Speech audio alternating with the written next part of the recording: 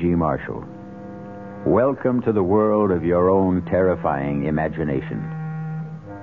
Mark Twain once said, Everyone talks about the weather, but no one does anything about it. The same thing might be said of the state of morality in the world today. Everyone talks about immorality and corruption, but no one seems to do anything about it. Can we do anything about it?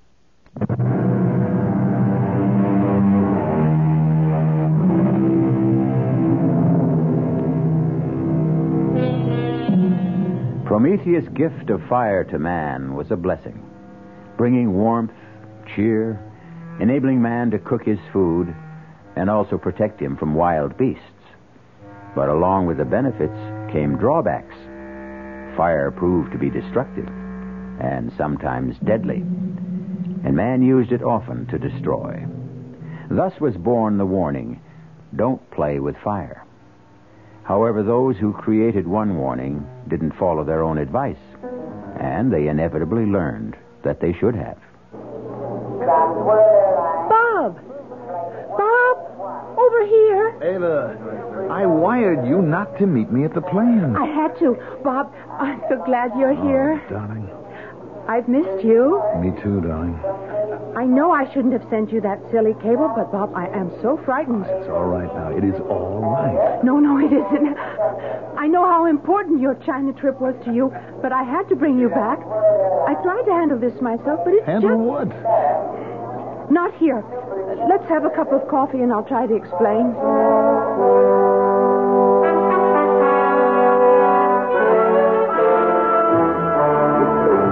Ava, I just don't. What's your father afraid of? I don't know, and he won't tell me. That's why I sent for you, Bob. Maybe he'll talk to you. You know, darling, if you were anyone else except the level headed, beautiful girl that I'm going to marry, I'd say this whole thing was nonsense. You won't say it after you see Dad. You won't recognize him. Why, you mean he's changed physically? Not so much in appearance, but in his attitude. You know the way Dad was completely self assured, positive. Yes, and sometimes wrong. Of course, who isn't? But you don't get to be the head of one of the largest corporations in the country by running scared. And Bob, believe me, Dad's terrified. Can you picture Vern Marcus scared?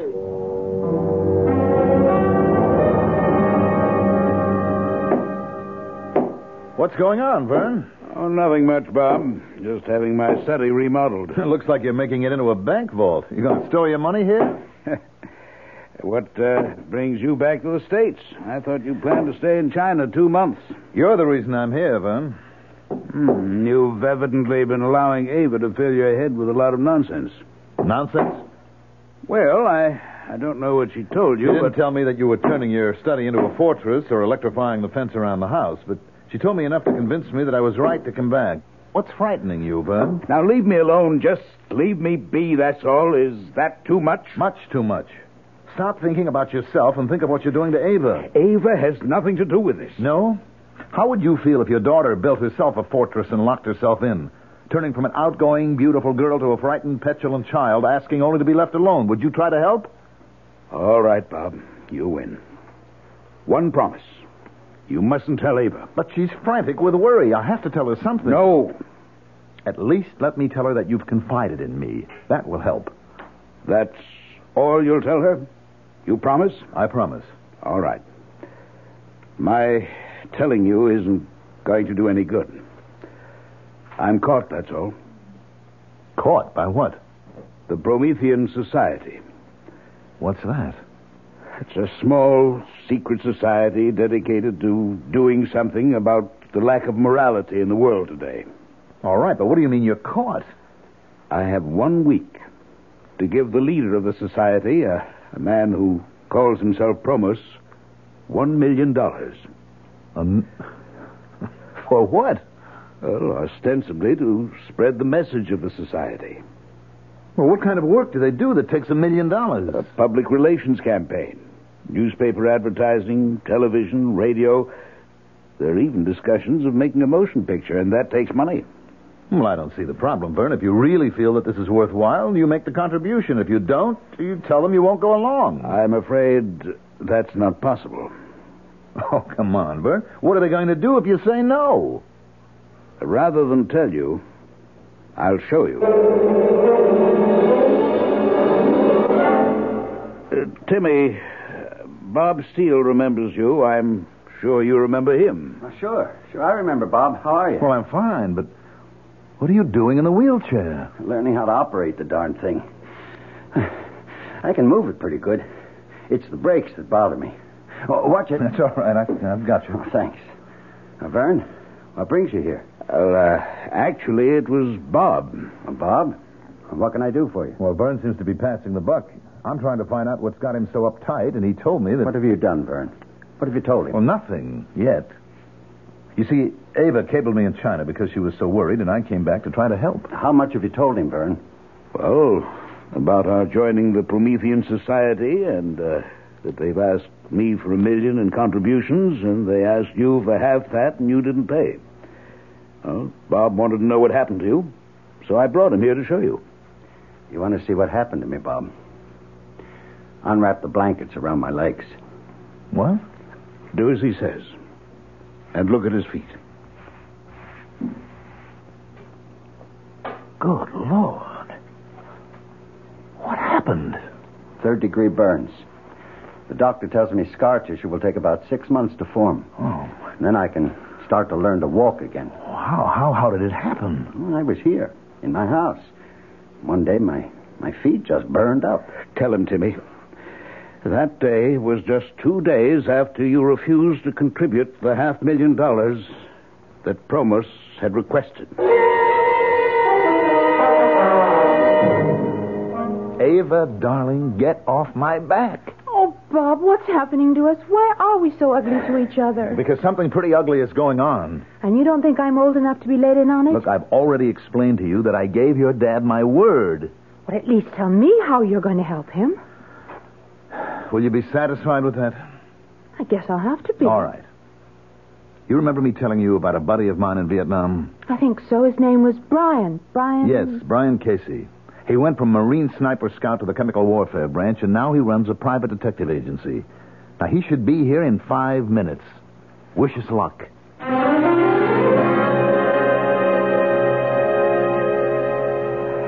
can't do it, Bob. I just can't.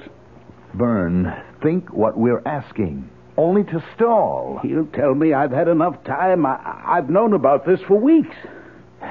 He's right, Bob. Look, Casey, I brought you here because I believed you could help. Now, if you're going to agree with him. Just stalling isn't enough, Bob.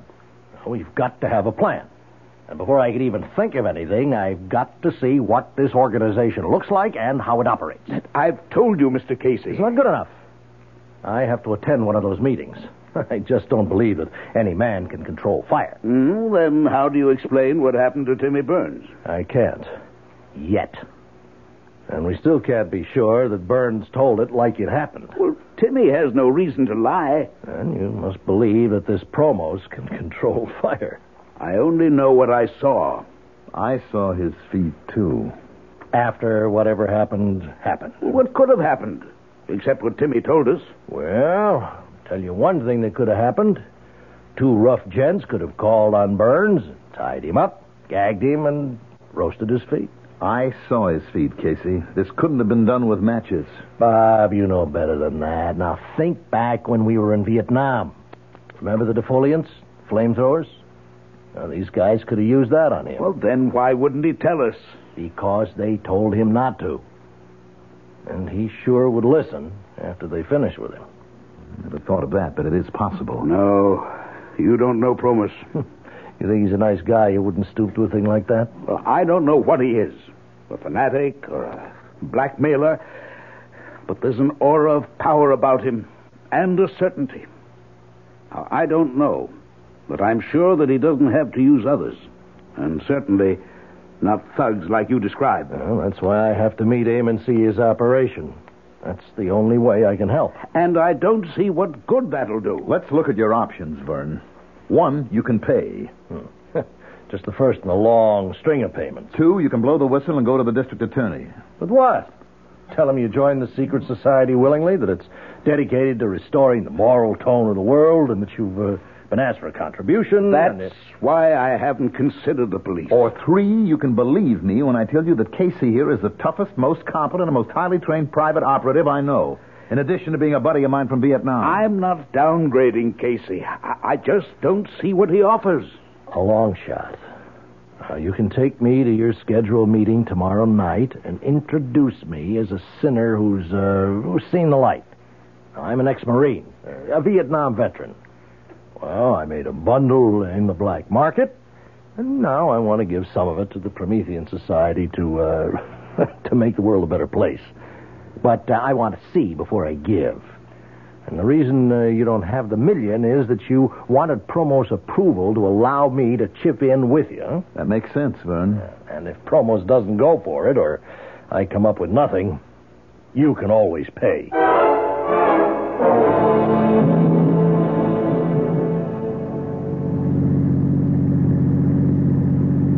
How are you feeling, Vern? Nervous.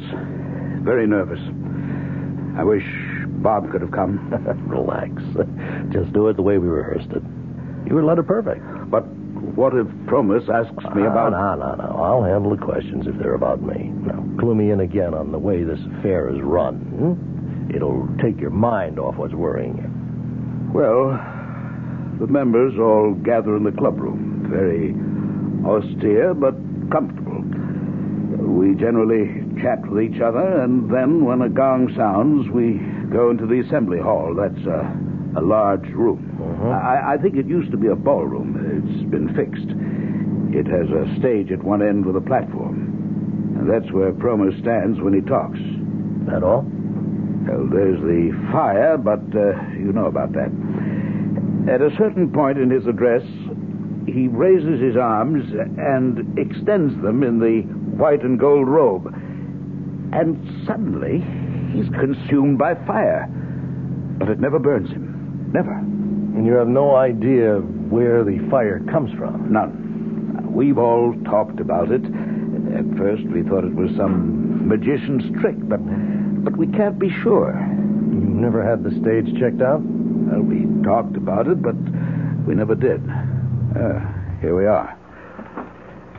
You know, you'll have to meet Promos before you can get into the meeting. All you have to do is introduce me. The rest will be up to me.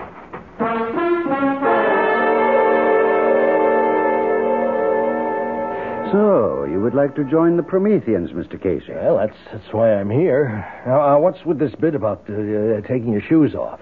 If and when we accept you, we'll explain our rituals. But we do not allow you into the inner chamber with your shoes on. Uh, What do you know about the Prometheans? Well, only what Vern Marcus told me. And what was that? Well, it was pretty general that you were an organization doing something about the shocking philosophy in our contemporary society that anything goes as long as it makes a buck.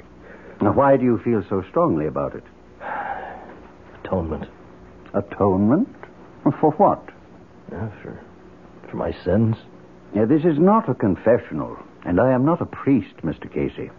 We're engaged in a very secular battle here against the forces that have distorted and corrupted the moral values all over the world. And we intend to use the very same instruments that did the corrupting. Well, I, I, I apologize, but I, I wasn't being flip. Maybe Vern told you I was in Vietnam in the Marine Corps. I know this isn't a confessional, and you're not interested in my life story, but I made a fortune then.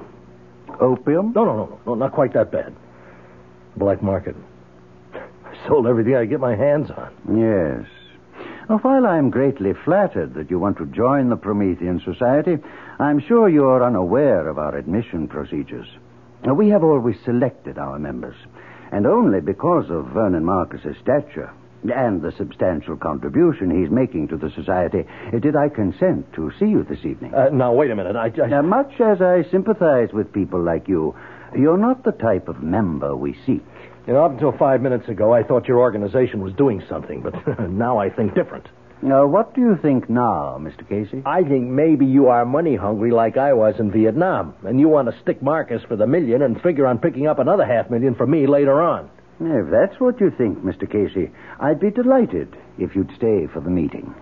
You mean that? I never say anything I don't mean.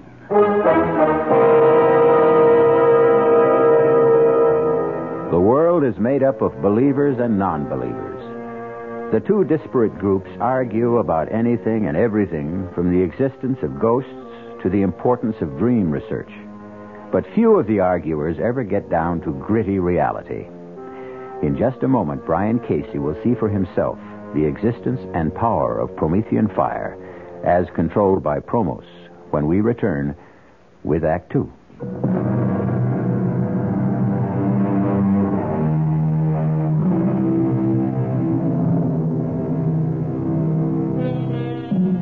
Have you ever noticed how much atmosphere plays a part in our lives? For example, it would never occur to anyone to hold a seance in a subway. And although the Promethean Society did not feature ghostly voices and trumpets and tambourines, its inner room or shrine was austere and impressive with straight backed chairs and organ music setting the proper atmosphere. The only light came from two flaming braziers on either wall. Promos, resplendent in a white and gold robe, stood at a lectern on a slightly raised stage. Welcome, Prometheans. Just as Prometheus brought man the gift of fire centuries ago, so are we dedicated to remind man that his salvation lies not in unbridled freedom and corruption, but in shoring up the wavering standards of morality and truth. Tonight, we extend a welcome to Brian Casey, a man who has indicated his desire to join with us, and who, after he has passed our scrutiny and been accepted, will undergo the rites of purification with which you are all familiar. Uh, you have a, a question, Mr. Johnson? I do. Uh, as everybody here knows, I'm a businessman, and uh, like everyone here, I joined the society with very high hopes. Uh, yes, Mr. Johnson. Well, uh, well, put it bluntly, the hopes haven't been realized. Uh, could you be more specific? Well, we all know it takes money to mount a campaign of the proportions you outlined to us, and we all contributed at the onset. Now, some of us have made further and exceedingly generous contributions, and I still haven't seen anything that, in a business sense, would, would justify these outlays. Uh, you are asking for an accounting. Well, I, I, I'm asking for some sort of indication that something's being done. Uh, you ask for a sign, a hopeful sign, which you expect to find on the page of a ledger. Uh, no, no. And you shall have it. Uh, Deucalion, uh, bring Mr. Johnson the ledger. Uh, no, I, I didn't mean to imply that. Uh, hand it to him, Deucalion. Uh, look, Promos, I didn't mean to upset you. I only asked, as any businessman would ask, to, to get some idea of where the, the money. Take it. Well, now look, this is ridiculous. Do you want me to? Do you want me to look at it now? Yes, take the ledger. And now, Prometheus, O fire bringer, give our friend a sign. A sign, O fire bringer, a sign. the ledger's on fire. Drop it, Johnson. Drop it. Ah, fear not, fear not. We are all safe. None of us has transgressed. I now call upon Prometheus for another sign. A sign directly for me. Watch now, Casey. Watch. You see, Casey? The man's a sheet of flame. He, he should be burned alive. But he'll emerge unharmed when the flames die down. It's a miracle, Casey. It's impressive, but I don't believe in miracles.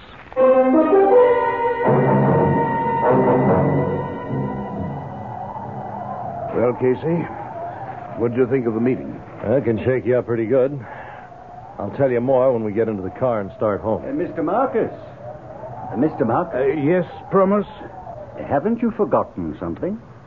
Oh, uh, you, you mean. Uh, your contribution. The society has been counting on it. Uh, of course, of course. Uh, you, you understand that I've had some difficulty in. Uh, you've had plenty of time. I know. But I can't Have you changed your mind about making the contribution? Oh, no, no, not at all. I, I was just waiting for Mr. Casey here. To... Uh, Mr. Casey informed me of his wish to contribute. But I must ask you, Mr. Marcus, in front of Mr. Casey here, are you completely familiar with his background? Why, uh, yes, I think so. Now, what are you getting at, Promos? Uh, you're not yet a member. We cannot accept outside contributions. Well, what's that got to do with my background? Your background will determine whether or not we accept you. That's fair enough. If you accept me, you can take my half million. If not, it's up to Marcus to make the total million dollar contribution. Yes, yes, I will. When can I expect to hear about my application? Mm, I should say within the next 48 hours. Uh, yes, uh, definitely within that time.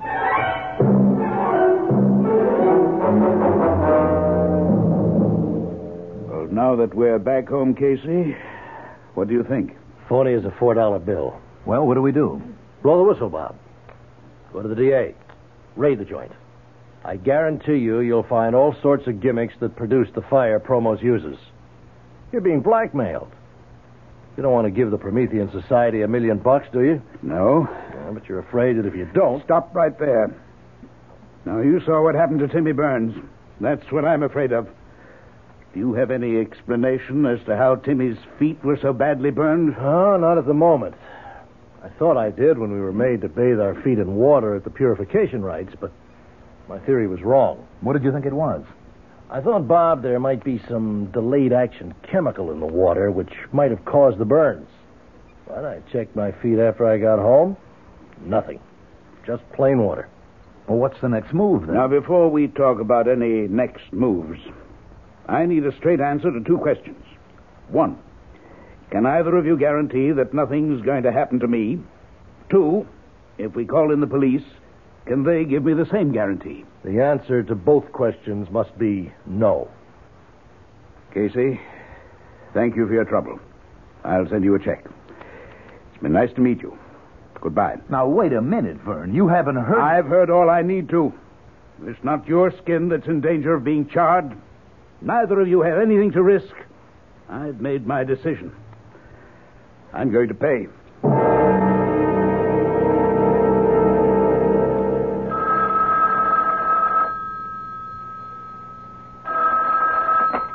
Casey Associates. Ah, Mr. Casey. How fortunate I reached you so promptly. Who is this? You don't recognize the voice? Promos. Exactly. I don't suppose I have to spell out our decision on your application. I don't understand. Oh, come now, Mr. Casey. The little game is over. Since I've called you at your office, you must realize I know you're a private investigator. So? Well, surely you don't expect the Promethean Society to. I'm a private investigator. Now, does that make me a second class citizen? If you've done any checking at all, you found out that I was in Vietnam and that the rest of what I told you is true. Uh, please don't excite yourself, Mr. Private investigators are, by nature and profession, skeptics. Philosophically, you can't possibly be attuned to our lifestyle. Therefore, it's my irrevocable decision to refuse you membership. I called because I wanted to tell you this personally. Uh, okay. It's your candy store. Uh, not entirely, Mr. Casey. Although my instincts tell me you don't accept it, there is a god involved. Uh, You remember Prometheus? Uh, look, Promos. I would like to hire you, Mr. Casey. What? Uh, You do undertake assignments that are uh, of a protective nature? Yes, but I. I It would be to our mutual advantage if you would. I have reason to believe that my life may be in danger.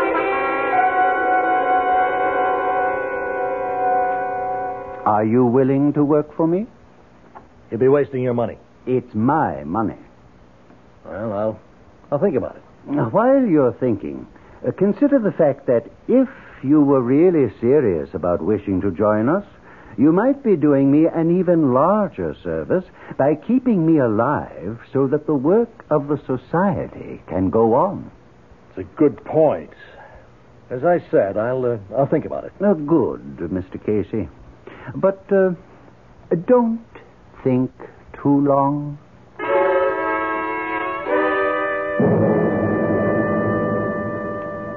I'll tell you, Mr. Marcus, he's getting nervous. Otherwise, he'd never have tried to hire me. Maybe it's true. No way. Promos needs protection as much as an intercontinental ballistics missile. You agree with me, Bob? Well, it looks that way. Well, I don't see how it changes my situation. I still have 24 hours to pay. Correct. But if he's running scared, and it looks like he is, then he's got something to be scared about. Look, he's very big on Greek mythology with all this Prometheus stuff, but he's got to have an Achilles heel somewhere, and he's afraid we might find it. Oh, excuse me. Hello. Uh, good evening, Mr. Marcus. I'm not taking you away from anything, am I? Oh, nothing important. Uh, fine. I called to ask if you were aware that the guest you brought the other night was a private investigator. Uh, you, you mean, uh, Brian Casey? Uh, yes. Well, does that disturb you? Uh, somewhat. A man of his type is hardly Promethean society material. Well, I'm sorry if I made an error in judgment. It I thought. doesn't matter. I've just called to tell you that Casey will not become a member, and therefore you are responsible for the entire million dollar contribution. You understand? Yes. Yes, I understand. My feet! Oh, my feet! They're burning! What? Ah, get something! Water! I something! Burning? Oh, I'm burning! In the kitchen. Uh, Pails. Are you Hurry. talking to me, Mr. Marcus? I'm sorry. There's some trouble hang on. here. No, I'm sorry, but. Uh, You'll uh, have the money tomorrow night. Goodbye. Oh, call a doctor! Oh, help me! Don't oh. roll your feet under your body. Oh. Here's a pail of ice water. Get your feet in here, quickly. Ah. Oh! Merciful Lord in heaven. Look at the water, Bob. It's boiling.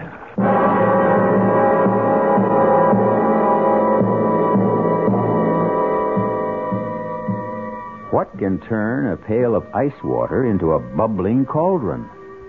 Promos would say it's Promethean fire. What would you say? What would you do if you were in Vernon Marcus' shoes? We'll be back shortly.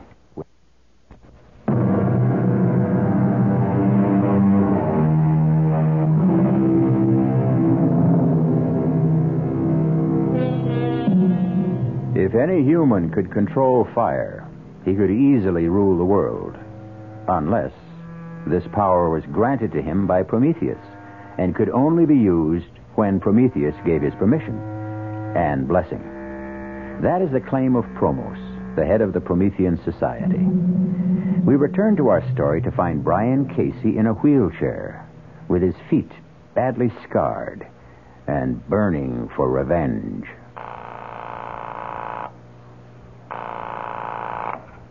Hello? Bob, Casey, where are you? I'm at my office. But your feet. I'm in a wheelchair. Now, they tell me I'll be back walking in less than three months. You've got to do me a favor. Of course. When's the next meeting of the Promethean Society? Now, look, Casey, I don't want to interfere, but don't you think you ought to lay off now? Tell me. Then I'll ask you the favor. The next meeting is this Friday night. Did Marcus pay the million? He's handing it over tonight. Where? Well, I don't know, but Listen closely. I want you to persuade Marcus to invite Promos to a big shindig at his house tonight. I don't know whether. It shouldn't be too hard, but it's vital. Now, why wouldn't a guy come to a party to pick up a million bucks? Casey, you ought to know better than anyone that Promos isn't just a guy. We both know he likes money. Now, Marcus can say that he wants to make a big publicity deal out of the party. There'll be a lot of tycoons there. Now, it'll be an opportunity for Promos to meet them. Some of them should be interested in the Promethean Society. And think of the impression it'll make when Marcus hands over the million. Well, it's a point. It'll work. And think of the impression Promos will make when he shows up in his robes. Why would he wear the ceremonial robes? Because they're impressive, because he's a ham at heart, and because he has to for my plan to work. Your plan? What plan? It's better that you don't know, in case something goes wrong. Look, Casey, you're asking to use Vern's house, I give you my word Vern can't get into trouble. Now, you've got to make the shindig come off. why? What's so important about Promos coming to a party? Because after he gets there, you're going to spill a glass of whiskey over those ceremonial robes.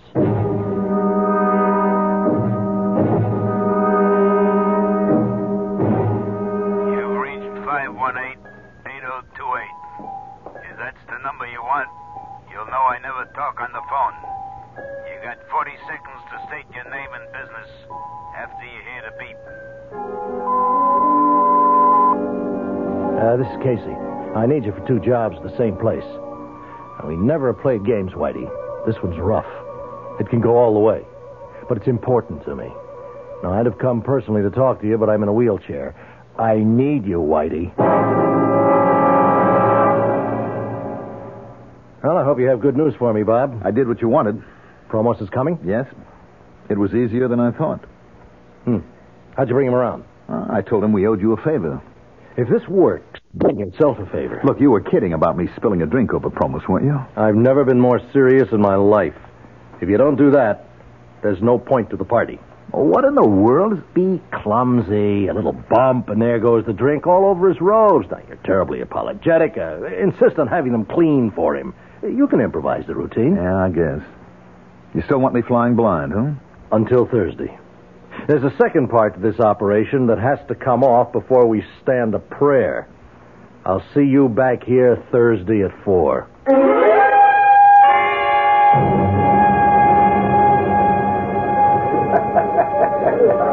Bob, Hmm? there's something very strange about this party. Nonsense, darling. I'm having a ball. Well, who's this Promos? Oh, he's quite a guy. Does he have anything to do There you with... are, darling, enjoying the party. Oh, excuse me, Vern. Ava, do you want a drink? No, thank you. And you don't need another either. Honey, we're not married yet. Dad, Yes? I want to talk to you about this party. Uh, later, dear, after it's over. Where did you meet this man, Promos? Now, please, this isn't the time to. Well, he's the one who's been giving you the trouble, isn't he? I've told you, Avi, this is the wrong time for me to explain. You'll tell me later? If I can, if I can. Ava, darling, you don't know what you're missing. This bartender really knows how to mix a drink. Why would Dad give this man a million dollars? Probably because he believes in the Promethean Society. Ridiculous. Uh, don't say that until you've met Promos. He's impressive. He's a creep. Come on, let's go over. I'll introduce you. You may change your mind. Promos. Ah, Mr. Steele. And this, I take it, is your bride to be. That's right. Ava Marcus. Delighted. And congratulations to you, Mr. Steele. Oh, thank you. Oh, you're not drinking? Only wine. Excuse me now. Oh, please don't go yet, Promos. We haven't really had a chance to talk. What's oh. up, Bob? Your glass. Oh, I'm so sorry. Clumsy fool. Bob, you spilled your Oh, drink. I'm terribly sorry. I don't know how that happened. Somebody must have pushed my arm. you did. Pushing it up to your mouth. Well, I'll have your robe cleaned, of course. Uh, know. Uh, no, thank Oh, you. I insist. Now, it was an accident. There's no need to make a case out of was it. my clumsiness. I'll have it cleaned and sent over to society headquarters. I wouldn't think of it.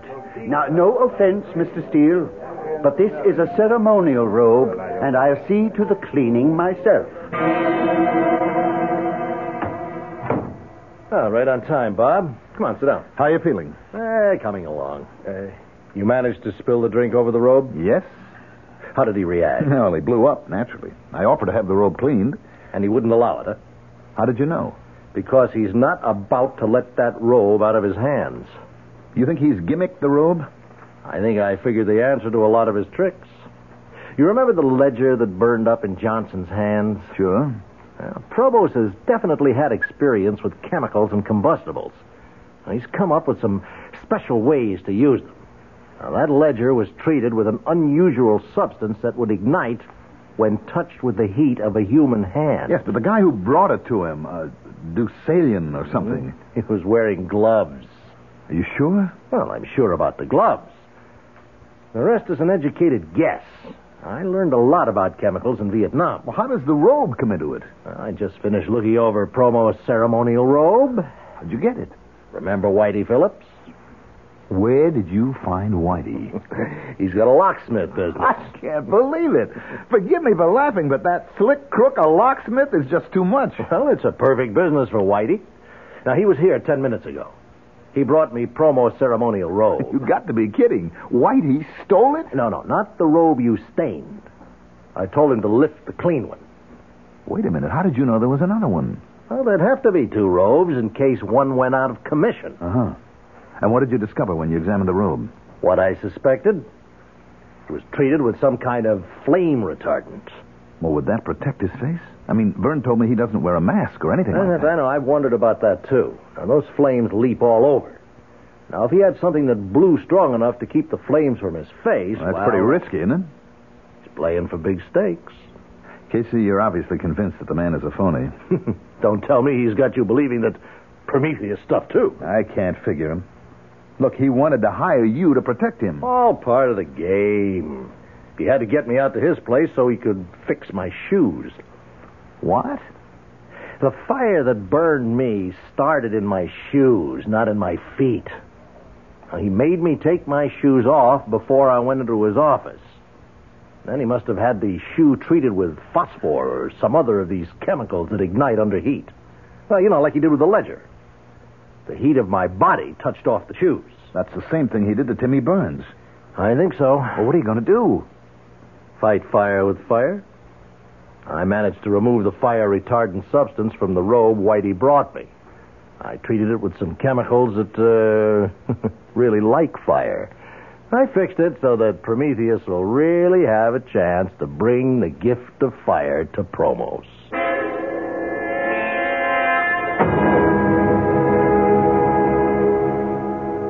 Whitey made it. Are you sure? Why shouldn't I be? Byrne just heard that tonight's meeting has been called off. Any reason given? No. Another date set? Indefinitely postponed. Now, do you think maybe Promos suspects something? I know we've got to trust Whitey. Why would Promos call off the meeting? Well, maybe he's uh, maybe he's packing in the entire operation. With Marcus Million, he may figure he's had it. Now, that leaves us up the creek. Only one option. We have got to get that meeting rescheduled.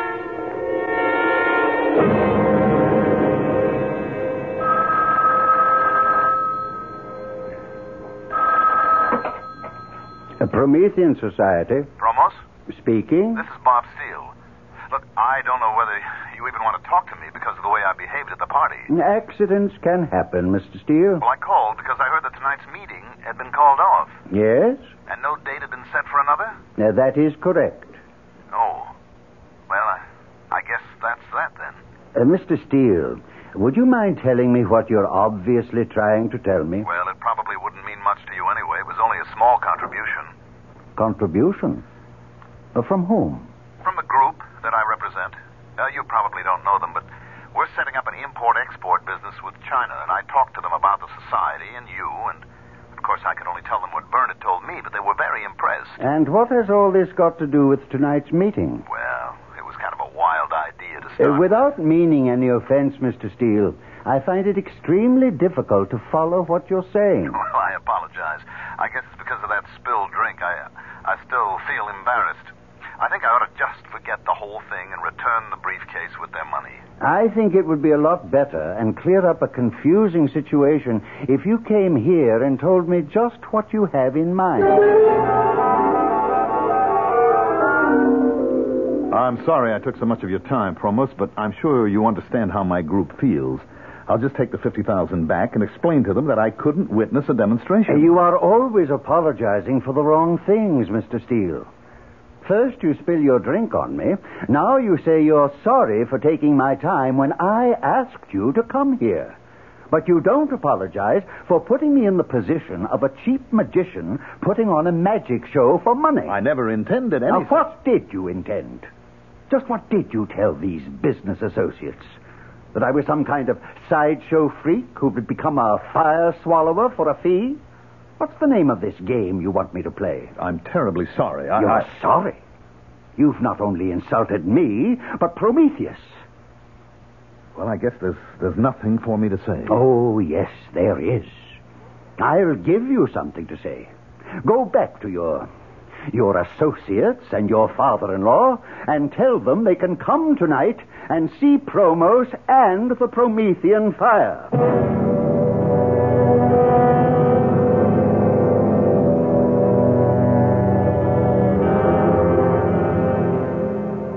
I don't like it.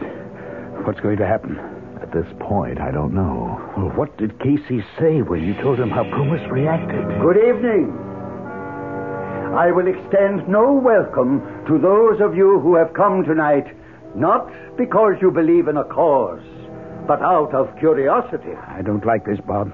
Tonight, will you have the courage to face Prometheus, as I do? Oh, Prometheus, bring me your gift, your gracious gift of the purifying fire. Behold the fire, the consuming flames that Prometheus. Ah, ah, ah, take it off! Take it off!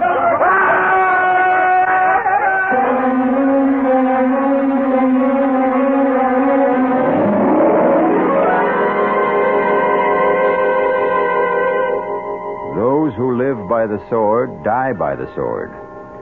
The man who called himself Promos, who lived by fire, died by fire. A flaming, horrible death. A warning to. to whom? To criminals, and perhaps a warning from Prometheus not to misuse the gift he brought mankind. I'll be back shortly. I will. Our cast included Julie Newmar, Mandel Kramer, Earl Hammond, Guy Sorel, and Sydney Walker. The entire production was under the direction of Himan Brown. Radio Mystery Theater was sponsored in part by Sine-Off, the sinus medicines, Anheuser-Busch Incorporated, brewers of Budweiser, and the Kellogg Company, makers of Kellogg's Special K cereal. This is E.G. Marshall inviting you to return to our Mystery Theater for another adventure in the macabre. Until next time, pleasant dreams.